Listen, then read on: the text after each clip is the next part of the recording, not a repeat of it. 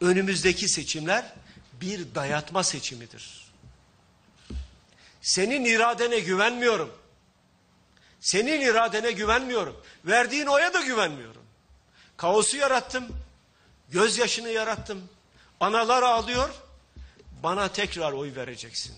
Vermezsen seni daha da perişan ederim. Geldiğimiz nokta budur. Buradan bütün vatandaşlarıma sesleniyorum. İyi düşünsün herkes. Hepimizin düşünmeye sadece hakkı değil, görevi de var. Düşünme görevi de var. Türkiye'de hukuk yok şu anda. Demokrasi askıya alınmış şu anda.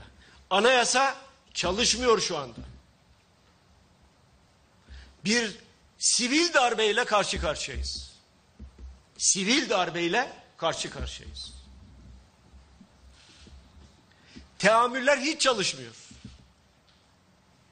Beştepe'nin yolunu bulamayan diyor. Ben ona yetki vermem diyor. Görev vermem diyor.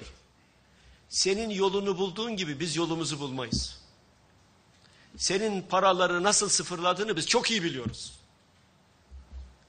Biz namuslu insanlarız. Biz ahlaklı insanlarız. Biz senin gibi değiliz. Ahlak yoksunu hele hele hiç değiliz.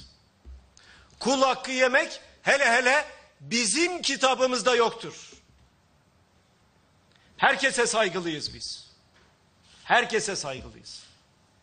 Devletin teamüllerini, anayasasını ayaktar altına almaya kimsenin hakkı yoktur. Bir mağduriyet edebiyatı da yapmıyoruz biz. Onlar gibi değiliz biz. Biz hakkımız olanı istiyoruz. Hakkımız olanı. Vermiyorlarsa sevgili yurttaşım sana havale ediyorum. Sen verdireceksin. Biz kavgadan yana değiliz. Çözeceksek sorunu el birliğiyle çözeceğiz. Demokrasi içinde çözeceğiz. Değerli arkadaşlarım, eğer bir koalisyon olsaydı, bu bayramda, önümüzdeki bayramda emekliler birer maaş ikramiyelerini alacaklardı. Eğer bir koalisyon olsaydı, asgari ücret 1500 lira olacaktı. Eğer bir koalisyon olsaydı, çiftçinin kullandığı mazot bir buçuk lira olacaktı. Eğer bir koalisyon olsaydı taşeron denen belaya son verilecekti. Bütün taşeron işçilerinin kadroları olacaktı. Eğer bir koalisyon olsaydı Türkiye Orta Doğu bataklığından çıkacaktı.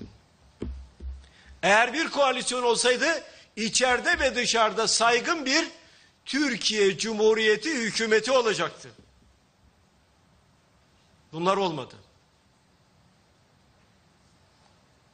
Diyecek ki vatandaşlarımız, ya bu ülkede bir başbakan var. Sayın Davutoğlu var. Başbakanlık koltuğunda oturuyor. Doğru. Bir başbakan var. Doğru. Başbakanlık koltuğunda da oturuyor. Ama üzülerek söyleyeyim. Etkisiz eleman.